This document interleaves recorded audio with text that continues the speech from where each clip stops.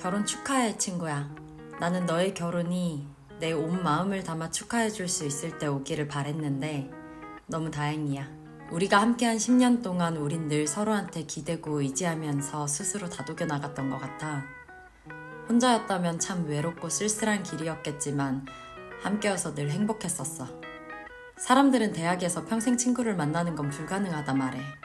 내가 그 말에 그저 한번 웃어줄 수 있는 이유는 내 힘들었던 인생에서 담비 같던 너를 만났기 때문이겠지?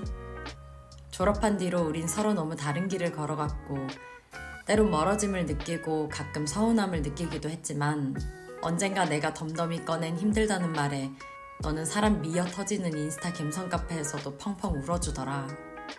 그때 나는 너를 평생 놓지 말아야 할 친구다. 다시 한번 다짐했어.